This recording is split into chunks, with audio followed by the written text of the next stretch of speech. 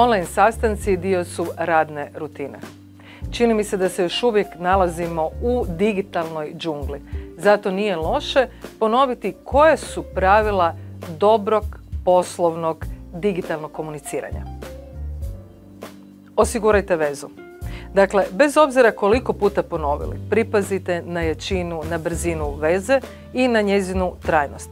Mm, biti na sastanku dok ste na Jarunu sa prijateljima ili razvozite klince po različitim e, treninzima nije baš neka sreća i svakako se osjeti u učinkovitosti. Zato budite profesionalni.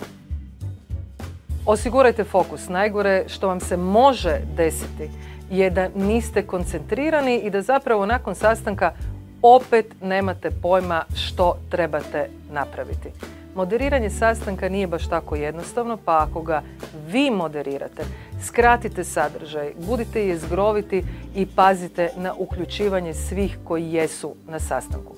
Svakako, prije toga dobro pojasnite pravila.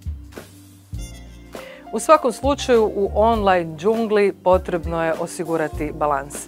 Ako imate tri ili četiri sastanka dnevno gdje ulazite i izlazite iz virtualnih soba, svakako između toga napravite jednu zgodnu pauzu.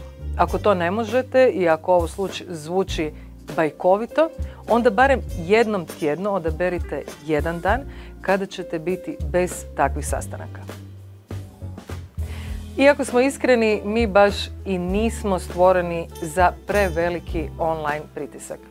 Ili barem sada još nismo. Zato razmislite što zapravo možete komunicirati porukom, mailom ili telefonom. Naime, telefonski razgovori su se smanjili i podcijenjeni su. Vrijeme je da ih vratite u opticaj.